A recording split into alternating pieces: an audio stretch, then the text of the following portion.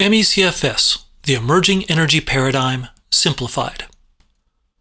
Why do people with myalgic encephalomyelitis, or chronic fatigue syndrome, have less energy than healthy people, even on relatively good days? On bad days, after overexertion, everything goes haywire.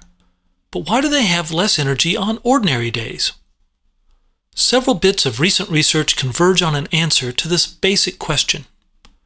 These studies include four metabolomic analyses that have gotten a lot of press. They're not easy for most people to read, so this is a simplified account. The chain of events starts with some agent, a molecule or cell that's circulating in the bloodstream. This agent provokes cells into producing less energy, and probably several other changes too. We know that the cause of this problem is in the bloodstream because labs have put cells from ME/CFS sufferers in healthy people's blood, and the cells turned healthy. And blood from people with ME/CFS makes cells from healthy people sick. We also suspect that this agent is not a small molecule, because researchers filtered out large ones and got a different effect. No one knows what this agent is, or how or why it gets produced. Being in the bloodstream, it goes throughout much of the body and it interacts with many different cell types. It probably provokes a host of changes in these cells.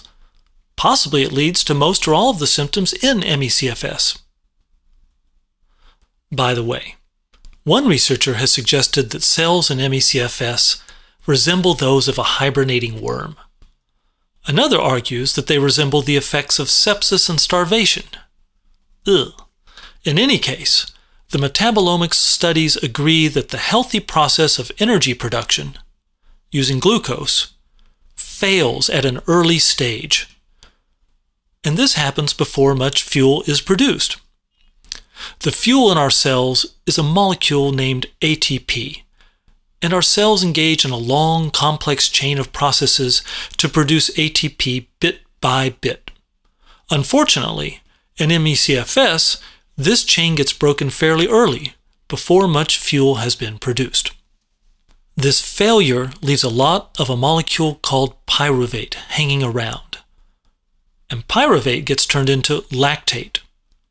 Just by itself, lactate inhibits the production of more fuel, and it reduces the force of muscles. Add that to the broken chain of fuel production, and you have a triple whammy. But our cells are resourceful and can use alternatives to pyruvate to make ATP.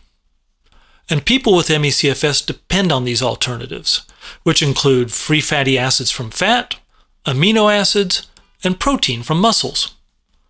Unfortunately, employing these alternatives is slower and less efficient, and that, plus the bad effects of all that lactate, translates into lower energy, even on good days, in ME/CFS. So that's it. A mysterious molecule or cell in the bloodstream provokes cells into screwing up the normal process of making fuel. Thus, people with ME/CFS depend on an inferior method of producing energy. Now, even if this scenario is correct, many basic questions remain to be answered. What is this molecule or cell that's wreaking such havoc?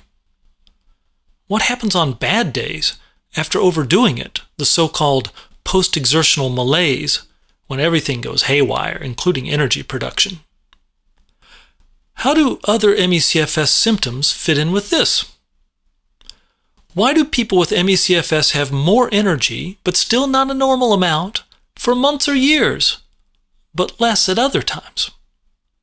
And above all, how can any of this be treated? In a future presentation, I'll go into more detail about the ways our cells produce energy and the implications for ME/CFS.